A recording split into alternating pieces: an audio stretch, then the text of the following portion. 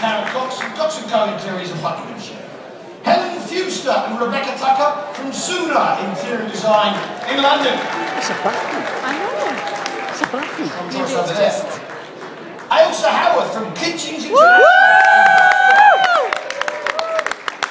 And our good friend Colin Wong from Direct Development in Edinburgh. Congratulations to all our finalists. So, who's snagged it this year? That's a good picture. Come on. Ladies and gentlemen, the Furniture Makers Company is delighted to announce that the award goes to Ailsa Howorth.